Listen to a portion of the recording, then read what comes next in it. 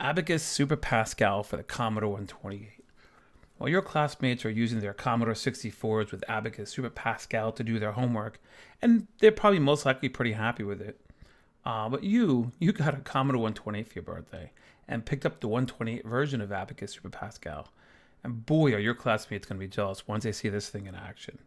Like this version of Pascal, I'm going to continue where I left off with the C64 version of this video feel free to pause this and go watch that video. If I gloss over something that doesn't quite make sense, I most likely covered it in that video, and I don't really want to do basically the same video twice except for the Commodore 128. I really want to continue where we left off and explore what makes this version unique and, to be honest with you, quite awesome. So let's get started. We're going to put the Pascal disk in drive 8. Now, it's not an auto booting disk, so we have to press Shift Run Stop to start it. So I'm making this video, of course, on an emulator running a Commodore 128 with two 1571 disk drives. The emulator is, of course, Vice. The first thing you're going to see is this installation of Super Pascal screen. We're not actually installing anything. It just gives us a quick chance to set some options. So let's review some of these options by pressing A to set all of them. So the clock, we don't really care about it, but if you want to use the clock and put the time in, go for it. I'm just going to hit S to start the clock. This lets us change the background and foreground colors. I think the white on blue is really quite nice. Unlike the 64 version where it was like white on green, it was kind of a little burnful on my eyes. This looks really good. So we're going to quit out of this. We're going to set it to slow mode, which is what it defaults to. This will make sense in a few moments when we get into it. And then we're going to press Q. You're going to want to turn the beeping off. If you don't, every time you press enter, you hear that. That will drive you crazy. So definitely hit C to clear that option. Q. We're going to save the configuration. And all that's going to do is save the slow mode, the colors, uh, and the beeping mode. The clock, of course, won't be saved with it. So we're going to press Q, and we're going to continue into Pascal.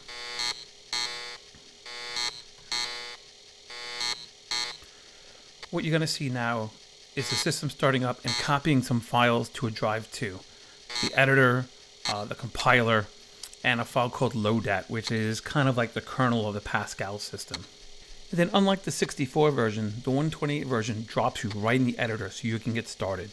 Not wasting time with being dropped in the utility menu and then having to launch the editor. So this is really, really nice. So let's write a real simple program that runs a nonsensical loop for a few seconds. I'm going to press N to start entering our code. The program statement tells the compiler that we're creating a program. Of course we are. And the test is what the output file name is going to be. We're going to declare a variable of type integer. Then we're going to type begin to start the statement section. We're going to assign the variable x to 0. Then we're going to use a, a repeat loop structure. And then you put the statement that you want to repeat. In our case, it's going to be assign x the value of x plus 1. And then we're going to say do this until x is 5,000 and then our program is going to end. So at this point, we want to save our program. And we're going to use the P command, just like the Commodore 64 version. However, it's a little different. On a 64 version, you'd put a colon on a file name. Here you just press enter and ask for a file name. We're going to call it s underscore test. And again, on the Commodore 64 and 128, there is no underscore key. So the ASCII equivalent is the back arrow. So you're going to see a lot of back arrows in this. But whenever you see a back arrow, just think that it's an underscore. Then it's going to ask us if we want to save it to drive 2. Now let's take a step backwards here for a second. If you remember correctly, we put two drives in our system. Zero is drive 8. Pascal uses a zero-based drive system. One is drive 9. And two is a RAM disk. This version of Pascal gives us a RAM disk and we code there by default. So if we press M to get a directory of the drive, defaults to the RAM disk. And here you can see what we saw when we're booting up, the load lodat, the editor, the compiler, and now our source code. And there's only three blocks free. It's actually plenty of room to do some coding with. But this is a great place where you're gonna be working on your active code. And then when your code is pretty solid, you can move it to a regular disk for a compilation to a bigger project later. Now in this video, unlike the Commodore 64 video, I'm not gonna edit out any of the disk access times. And a reason why is the 128 version just smokes the 64 version disk I/O speed, mainly because we're doing everything in a RAM disk. It does also take advantage of the burst mode of the 1571, but that's irrelevant when you're working with a RAM disk. So we quit out of the editor, we hit C to run a compiler. we're going to press an asterisk. An asterisk tells us to use the file name of whatever we were just working with last, which is our RAM disk copy of S back arrow test. It says, do you want to compile this? Yep. And it just pops right up into the compiler. We're going to use default options. And we're immediately compiling. Uh, I'm not going to bother with statistical summary. It links it and it's ready to run. It is that fast. So now we can run our program. I put an asterisk again. It's going to run the program from memory.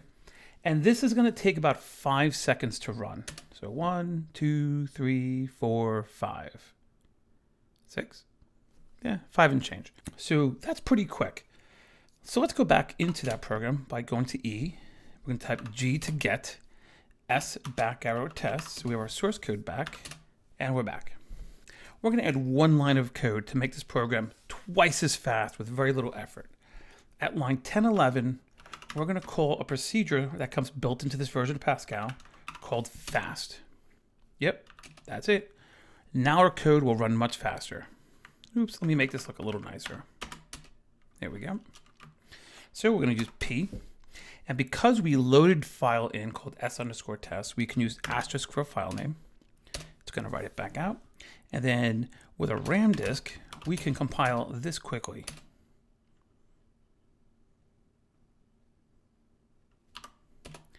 And we're ready to go. So now we're going to run this. Now this time, it's going to go twice as fast. One, two, done.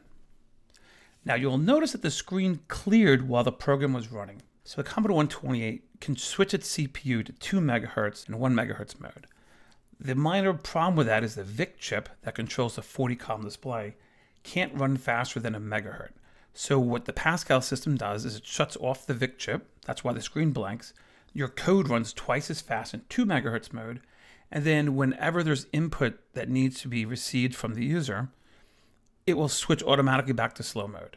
Now, because our program switched to fast mode and did not switch back to slow mode when it's done, our whole system is going to operate like that now.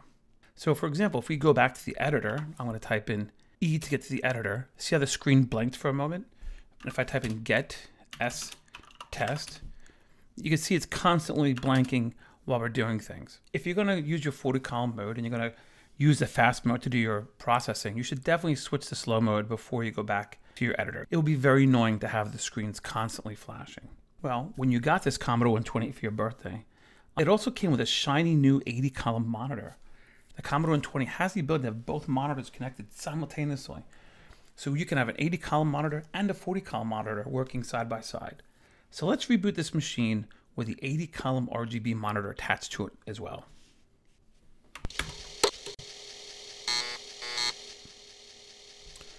So now we have our two monitors attached. We have the 80 column display on the left, which of course is not rendering anything. And we have a 40 column display on the right, which boots into basic as we're, we're used to it doing. There's a few ways you could switch between the screens. We're going to do it the quote unquote hard way or the hardware way. There's a 4080 column button on your keyboard. If you tap that and it'll click, it'll kind of like lock in, it'll toggle us to the 80 column mode. Now, of course, nothing's happened yet. You have to restart the computer. And when you do, it'll see that, button's pressed down and it'll default the output to the 80 column display. And then like before, we press Shift Escape and we'll start booting up the Pascal system. Now in just a moment, you're going to see the right screen go blank. There it goes. The system has entered fast mode. It's triggering the CPU into 2 megahertz mode, which as we discussed earlier, disables the VIC chip. So the right side monitor is not even rendering anymore, it's just turned off. So we're going to press Q to get out of the install. The default options are just fine. And then like earlier, it's going to load the RAM disk in with the editor, the compiler, and the loadat, which is the Pascal kernel.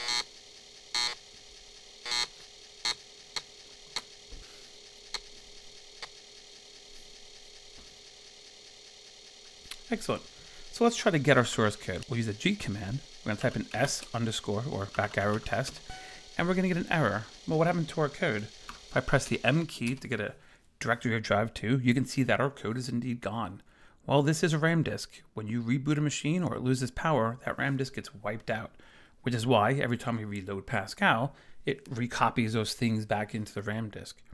So when you're working on a project, once you get your code in a pretty good spot, you save it to a regular disk before you're done. Even though this machine has 1571 drives, the RAM disk is still just night and day faster than any disk drive you could throw at it. Let's make a new program and explore some of the features that let us go back and forth between the two monitors and 40 and 80 column mode. So we're going to start a new program and we'll call it program test again. We're going to create a variable to represent a character that we're going to read from the keyboard because we're just going to have a couple points where it pauses for us and we need to be able to store that character somewhere. Uh, we're going to begin our statement section. And the first thing we're going to do is we're going to slow things down to one megahertz mode. And then we're going to use the mode 40 procedure that comes with this version of Pascal to switch the output to the VIC chip on the 40 column display. And then here we can write, you are in 40 column mode, press a key. Okay. And then here we can assign our variable C to get key. All right, so that'll wait for a key to be pressed. Key is pressed. We can now go to mode 80 that will stop rendering to the 40 column display and will write anything else to the 80 column display. So over here, we're going to write, you are now in 80 column slow mode. Press a key. And then we'll do the same thing. We'll have it wait for a key press. At this point, we should see output on both monitors. And then we're going to go back to fast mode. And then we're going to have our program end. All right, so let's store this. And let's compile this really quickly. Ah, I have a mistake in my code, which is great. So we can see how fast we can get back into the editor. So if we press run stop, because we're in a RAM disk, we're immediately back into our source code and we can correct that error. So we're going to fix this bug. Clearly this equal does not need to be there. So we're going to use the p command. We'll use asterisk to resave it. Quit, compile, asterisk, enter, enter, no summary, and we're ready to go. Just see how fast we can iterate through this code. This is just night and day. So we're going to run this now and see how it behaves. We went to slow mode, and now we can see text on the right side, and we can you know interact with the user there. We can press a key, and now you can see we're also outputting text on the 80 column side. But since we're still in slow mode, both screens are still active. The VIC chip is still rendering text, and the VDC chip is rendering our 80 column text. If we press a key now, it ends by going to fast mode, which turns off the VIC chip, and leaves us in 80 column mode. If you want to write an application that can use both screens, you can definitely do it in this version of Pascal, and it's pretty easy. But I think for now, we're going to continue on with our demonstration of this system, just using the 80 column mode. So we're going to write a simple program that's going to resemble a character editor for a D&D inspired game. We're going to have a custom data type that will store the attributes of our character. We'll have a little menu system we'll put together where we can uh, roll a new one, save and load it from disk, and view it. Uh, really, really simple. So we're going to press N to make a new program. And we're going to call it program car ed. So the compiled output will be car ed or character editor. So we need to create a custom type to represent our character. And we start that with a type section. We're going to call this type car type. And then what we're going to do is we're going to declare what's called a record. A record is like a container of variables that we can use um, that gets assigned to one variable.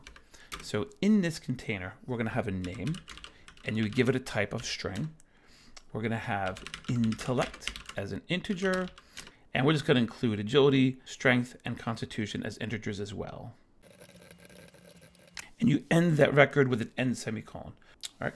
So now we're going to declare a variable section and we're going to make a variable. We're going to call it my car, and it's going to be of type car type. When you create a variable in Pascal, it does not initialize it with any particular default values. So what happens is it just gets whatever garbage is in memory. So in this case, we want to make a procedure that's going to set all of the fields of our record to a default value. So we're going to call this procedure init my car, and it's just going to simply access each field of the my car record, so my car string, for example, and we're going to assign it default values. And I'm just going to set all of the ability scores to zero. And the program for now is going to call the init my car procedure and then end. This gives us a pretty good starting point to make sure our code compiles before we move on and creating the menu. So we're going to do a P to save it. We're going to call it scared, where the S stands for source. We're going to save it to drive to. And now let's see if this compiles. And I'm just going to tear through the options really fast. Ah, I spelled agility wrong. So let's edit that. Agility. Very good. Now, here's an interesting thing to note. So normally you'd want to just kind of move your cursor to the bottom to run the next command. There are these cool sequences in a Commodore 128 called escape sequences. And what you can do is you can press the escape key, you press and release it, and then you press another letter on the keyboard to do something. And one of them is delete everything from the cursor to the bottom. Now, if you're an emulator like me, my escape key is mapped to run stop. So instead, we're going to use control left open bracket, and that's the equivalent of pressing escape. So if I press escape and then at sign, it deletes everything from my cursor to the bottom. So then I can just press P and I can save this. Those escape keys also exist in Commodore Basic. They're kind of uh, built into the kernel of the Commodore 128. So you can pretty much use them anywhere. Excellent.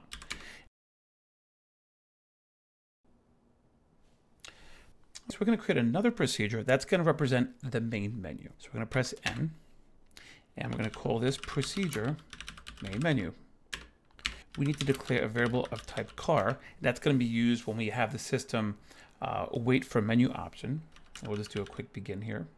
And we're going to do a repeat loop because we're just going to paint the menu, uh, ask for a button, react to it, and then go back and repaint the menu. And then we start with a write line. CHR147 is going to clear the screen for us. Then we're going to type in choose an option. Then we're going to type in R, roll character. We'll put a shift B here also. And then we'll make options for save, load, view, and quit.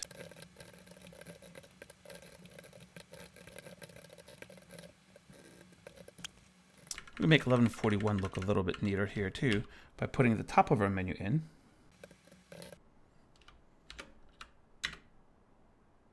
Okay, we want to grab a key from the keyboard using our get key procedure.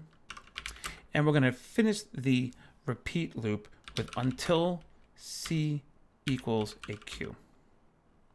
All right, very straightforward. So if you remember, you can't call procedures unless they're defined before where they're called. So we need to move that program block up there to the bottom. And we're going to use the shift numbers command. So we want oh to move 1105 to 1115. And we're just going to put a really big number so it moves it to the end. All right. And there we go. Our main program's at the end. And we'll even put a little space here. So our code is more readable. Then we just need to add a line of code at 1186 to call our main menu. All right, let's just stare at this for a moment some pretty nice looking code. Let's see how our program runs. We're going to store it to disk. Then we're going to run it through our compiler. Nope. And then we're going to run it really quick. Ah, so now we have a pretty nice looking menu. Roll character, save character, load character, view character, quit. Press anything I want, it'll repaint the menu. If we press Q, we exit back to the system. So now we're back in the source code for the main menu and we want to write the code that's going to be the roll character function. And this is going to be a procedure that creates random scores for ability scores. It's going to show it to the user, and then it's going to ask them for a name based on the scores presented to them. So let's write this code real quick, and I'll explain how it works.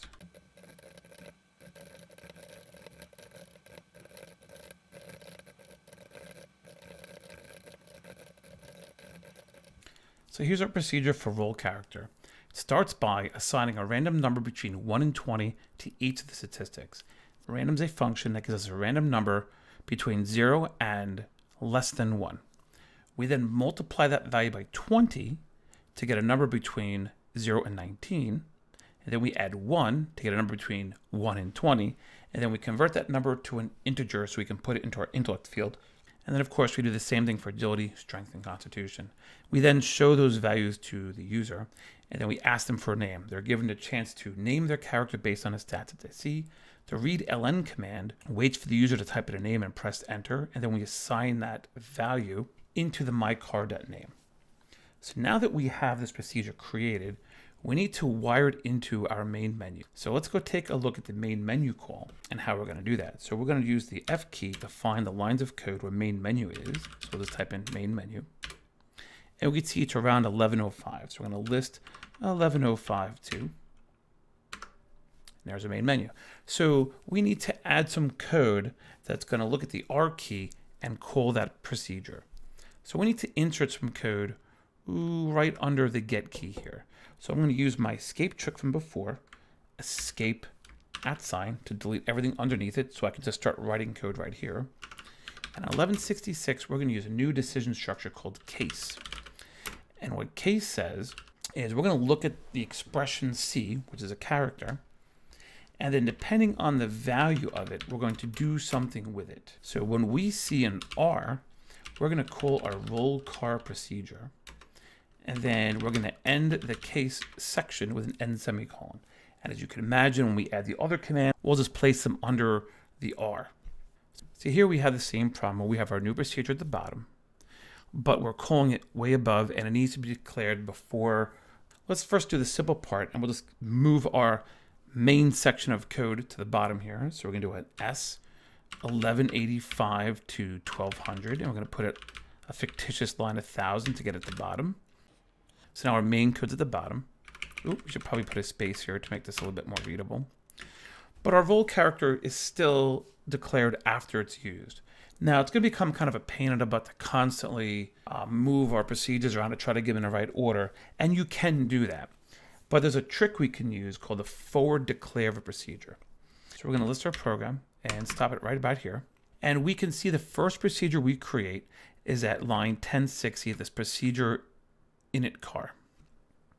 All right. What we're going to do is we're going to duplicate this line to be 1161 because we want to put a line of code above it. And we're going to put this line of code above it.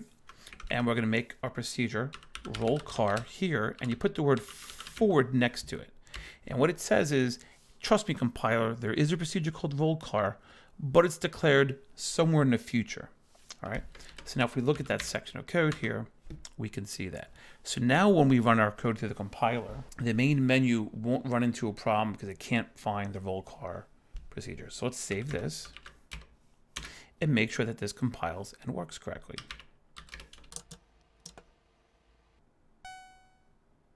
Ah, I spelled roll car wrong.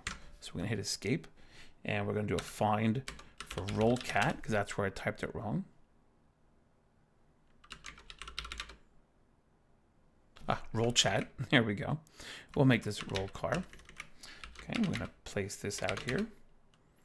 And again, it's just so nice that we can run through the compiler so quickly. Excellent. And let's give this a quick run. So we're to run this command. We're to roll a character. It's to show us a 1 to 1, a 13 to 17. Uh, that sounds kind of like a fighter. So let's call him, I don't know, fighter dude. Cool, so we've rolled a character. Still can't do anything else with it, but at least we've gotten to that part. So let's queue out of our program and let's continue on in the editor. So here we are with our quit command implemented and our roll character command implemented. The next logical command to implement will be the view character, and this one should take no time at all, as there's not a whole lot to it. So once again, we will press N to enter some new code, and we're just going to create a procedure called viewCar will view the character. And again, we're going to declare a variable to store the character when we wait for a key press. Uh, and it functions pretty straightforward. We're just going to write line out the information, and it looks something like this.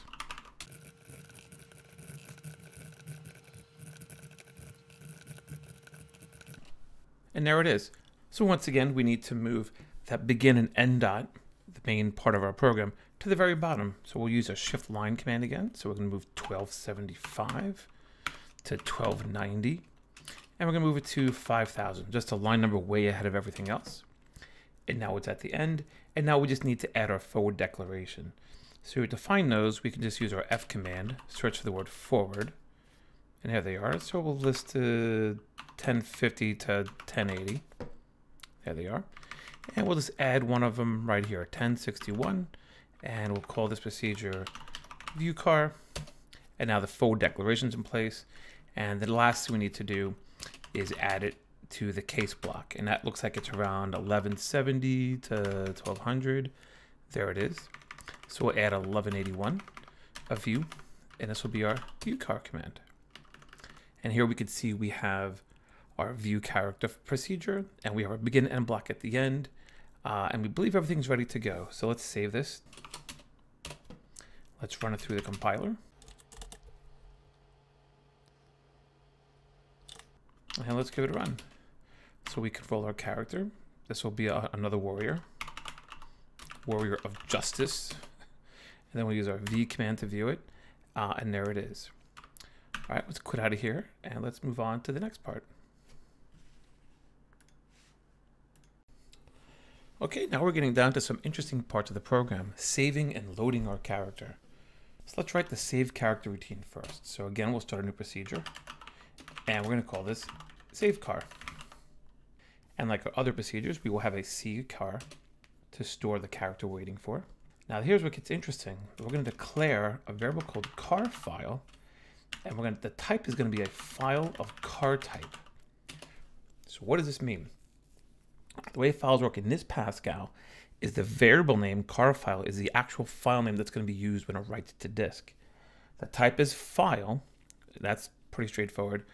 But files could only contain a collection of a type of thing. In this case, it's car type. Our car type is our record. Now you can put as many car types as you want into the file, but the only thing you can put into the file is car types. Now, if you want to do something more complicated, you would do a file of string or a file of character, and you would just write, or a file of byte, and you would just write out the data uh, by hand. But this is pretty easy to deal with. So we're going to begin the statement section. This command is called set drive and it exists in the Commodore 128 version of Pascal. This is not a standard Pascal command and it sets the drive to 2 which in our case is the RAM disk. It actually defaults to 0 no matter where you want to program from. So we're going to set ours to the RAM disk. Optionally, we're not going to do this, but you could call the name function, you could pass in car file and give it a different file name than the variable but we're not going to bother with that. But if you did want to do that, this is how you would do it. So we're going to call a built-in function called rewrite, and we pass in car file. This prepares the file for writing. And then we're going to write to the file, car file, and we're going to send up my car. So now it's written to the file, and then we close car file. All right, and then we're going to write line saved to disk press any key. All right, C equals get key. And then we'll end this procedure. I'm going to put a little shift space here. So right now we're going to write the load card command right here as well, since the logic is almost identical. So once again, we'll declare a variable C of type character for our character turn. We're going to declare car file as a file of car type, where we're going to read the data back in from. We're going to do a begin. And then we will set the drive to 2. And then you're going to call a command called reset.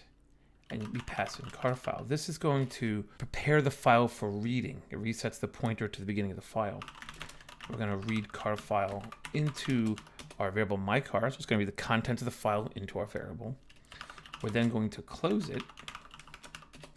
Okay, we're going to write line out, read from disk, press any key.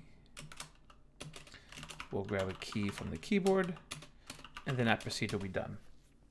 So once again, we have to move our begin and end block of the program to the bottom. It's between 1340 and 1355. So we're going to shift 1340 to 1355, and we're going to put it at 5000. And now if we list the bottom half of our program, Okay, now we need to create our forward declarations. So we're going to do a find for forward. And they're around 1060 and 1065. So we'll just create a 1066. This will be our load character. We'll create a 1067. And this will be our save character. All right, now we just need to find the case command so we can wire it in. So we're going to list 1180 to, I don't know, 1220. There it is. So we're just going to add in a S to call our save car function and an L to call our load car function. All right, I think I'm going to add a, a space at 1451 just to kind of break it up a bit. Okay, I think it looks pretty good. Let's save it and give it a try.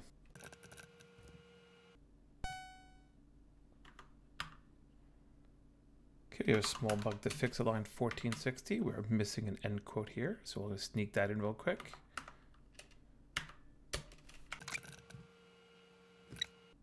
All right, let's give this a try. We're gonna run our program. Start. So let's roll a character. Hmm, I guess the random number generator isn't too great in this version of Pascal. I noticed that every time we run our program, we get the same uh, starting stats. Uh, that's a problem for another day. So we'll call this um, a repeat warrior. Okay, we'll view it. That's good. Uh, we will save it to disk with the S command. So it's saved to a RAM disk. And then we're going to quit. Now, if I map drive 2, we can see our file there called car file, and that has our character in it. So if we run our program now, and we view our character, we see that that's the blank character. We're going to choose L to load it from disk. We're going to press view, and there's our character read in from the disk.